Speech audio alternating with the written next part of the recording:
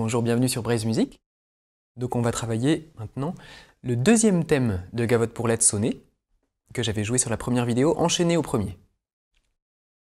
Donc on va retrouver un petit peu les mêmes, les mêmes systématismes que sur la, première, donc ça devrait être plus facile. C'est-à-dire, d'une manière générale, à chaque fois qu'il y a beaucoup de notes, que ça va plus vite, on lit tout, dans le même coup d'archet. À chaque fois que les notes sont séparées, eh ben on fait le petit rebondi là, que je vous avais invité à travailler euh, à part sur la première vidéo. Ensuite, on a cette histoire de, liaison, surtout que c'est pas, pas régulier. Euh, ça dépend de où on commence. Aux reprises, souvent ça change. Donc en fait, là, ça va être plus simple de travailler simplement les trois premières notes, c'est-à-dire La, Si, Do, La.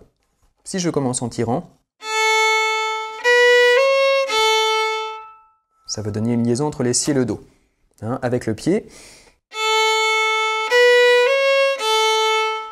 comme ça j'ai le La sur le temps, Si, Do lié, et à nouveau le La sur le temps.